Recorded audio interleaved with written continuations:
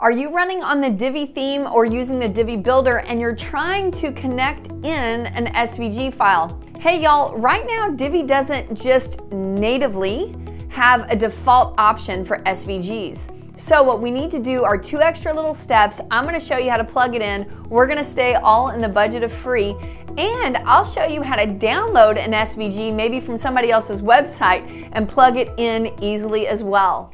Hey y'all, my name is Kori Ashton and I love the Divi theme. I have an entire playlist dedicated to that incredible page builder. So be sure to check that out. Click like and subscribe. Click that little bell so that you get a notification every time I'm publishing great new content for that Divi builder. Hey, let's get to the tutorial. So be sure to just go ahead and back up your website.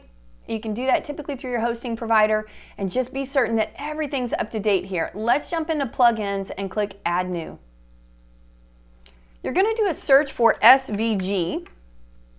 Once you find that, you'll find one right here that is SVG support, okay? Just phenomenal reviews. Look at this stuff. Woo!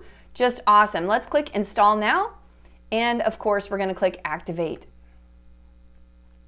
And y'all, that's all you have to do. Now Divi is ready to rock and roll for you. All right, so let me show you how to drop them in to your page or post or really any place you can drop in that code module for Divi. So I'm gonna go to the front side of my website. I'm gonna click enable the visual builder. Let's open that up so we can get in here and edit.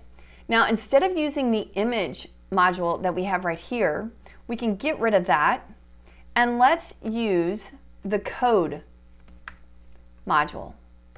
Open that up. Now, you should have gone ahead and grabbed your SVG code, right? You've got that on your clipboard. If you haven't, pause this for a minute, jump over, and grab your SVG file.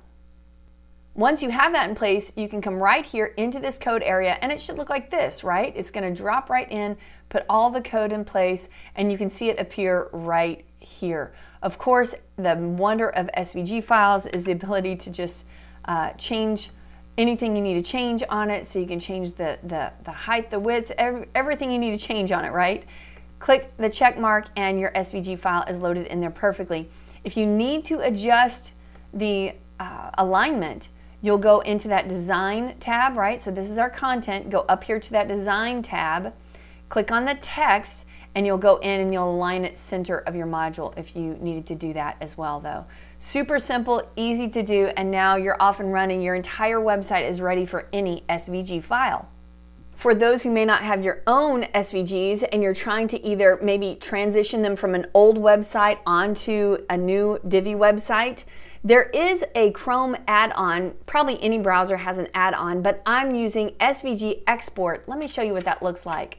This really cool extension right here, again, totally for free. You can add this to your Chrome browser and any website you go to, you can activate this little extension and it will open up all of their SVG files for you.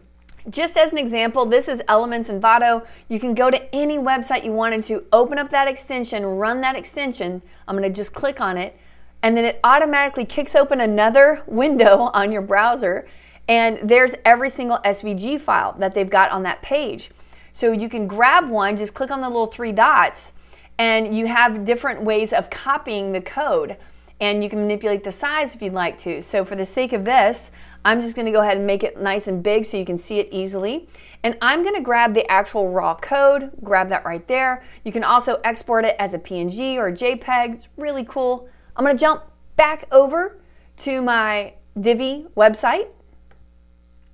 And I'm gonna go right here to the right side and click code. And I'm going to paste in now that SVG file that I grabbed from uh, that extension. And of course it's white, right? So no worries, we can put a background on that, right? So that we can still see that really cool, there it is, there's that cool uh, SVG file sitting there. So nice background on that. And again, go into that design tab and move that over. Of course, you can add all the spacing you want to add to it, right? Put 20 around it, give it a little bit of padding, give it a little, bit of love, right? Give it some space it breathes a little bit have all sorts of fun. That little SVG extension though, SVG export, Chrome extension has been a lifesaver for me. Y'all, I hope this was helpful for you. I love the Divi Builder. Obviously, you do as well. So please stick around, click like and subscribe. Let me know if you have any Divi questions as well. I'll try to answer them for you. I'll see y'all next WordPress Wednesday. Bye, everyone.